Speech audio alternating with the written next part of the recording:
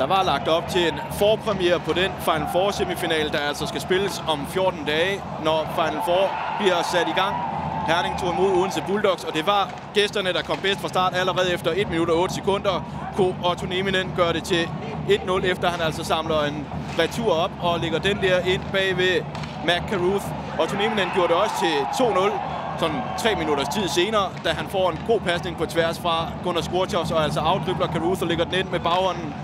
I anden periode, der fik Herning reduceret Phil Mainaccio her i powerplay klasker den der aflevering ind, han får sendt på tværs af Mads Christensen.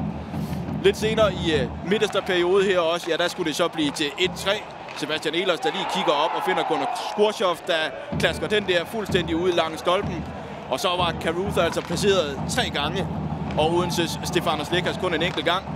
Det skulle op lige til 4-1 hen i tredje periode.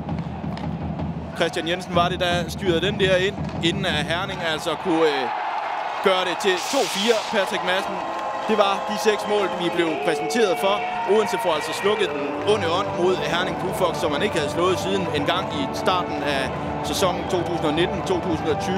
Og er altså nu kun et enkelt point bag Herning Blue Fox på ligaens anden plads.